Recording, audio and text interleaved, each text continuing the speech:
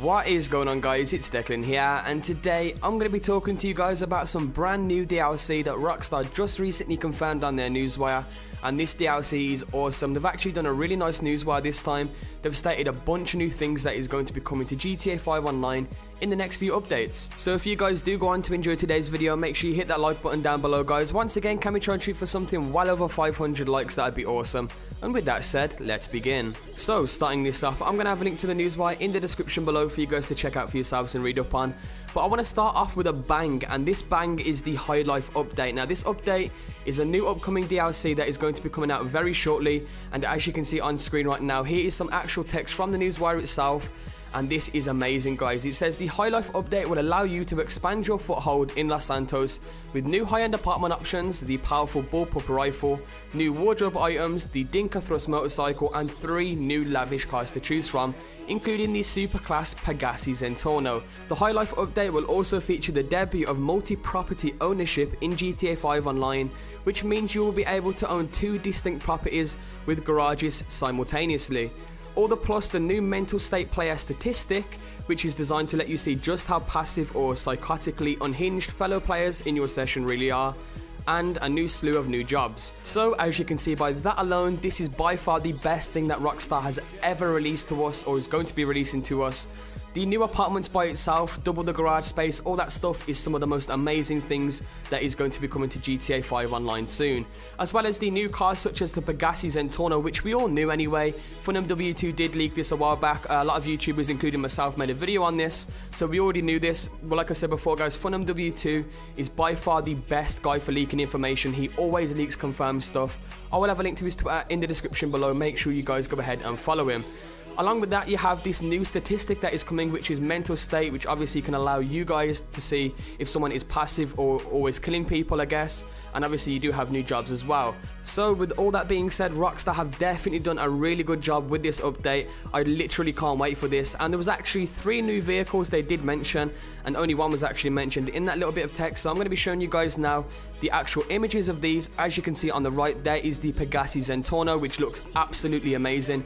On the left, we have the Dewbauchee Massacro, which is another one of the vehicles, and also the Enus Huntley, which we don't actually have an image of, but I'm sure we will have images for that soon. Alongside this, we also have an image of the Bullpup rifle that is going to be coming to Ammu-Nation soon, so that is the image of the Bullpup rifle right there.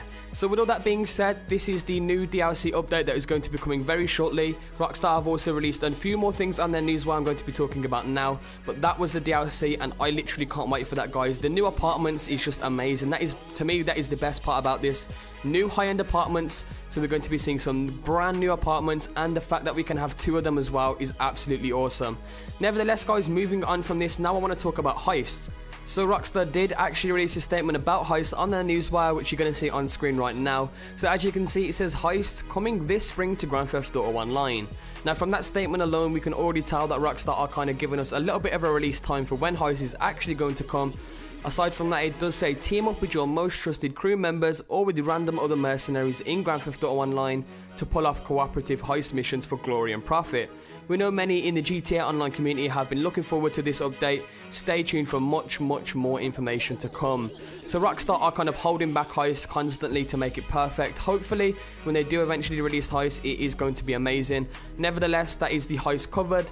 Additionally, they are going to be adding in a content creator update, and that is actually coming this week, or next week, I believe. I'm not going to go into too much detail about this, but as you can see on screen once again, there is the text from the newswire itself about this.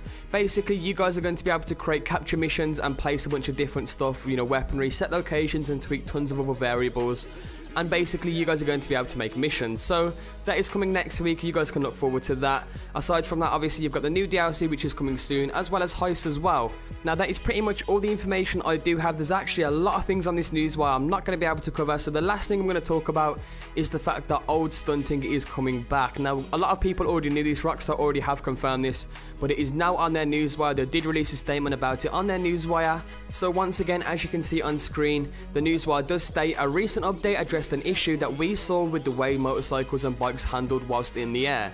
As it turned out, many members of the GTA stunting community were disappointed to discover that this fix made pulling off certain popular bike tricks and stunts virtually impossible, so we're going to be restoring the original in-air motorcycle slash bike physics in an upcoming title update. In general, we are open to keeping unintended glitches in the game if players enjoy them and they aren't causing any negative impact on gameplay or fairness in any way. So Rockstar are basically saying that they are open to keep glitches that weren't intended in the game as long as they don't harm anything and they're just generally fun to do. So that is another cool thing along with the original stunting coming back. I'm sure a lot of you stunting guys out there are happy. Nevertheless, that is pretty much it for the commentary. If you guys want to see the full news wire, link in the description below. Be sure to check that out. Anyway, I want to know what you guys think. Are you guys looking forward to this new DLC? Make sure you comment down below and I'll be sure to check that out. And with that said, if you did go on to enjoy this video, make sure you hit that like button down below. Once again, can we try to shoot for something well over 500 likes? And if you guys want to go ahead and follow us on Twitter, you can do that at 2dynamichd. We are always trying to interact with you guys on there and keep you up to date on what we're going to post next. Anyway, with that said, I will see you all in the next video.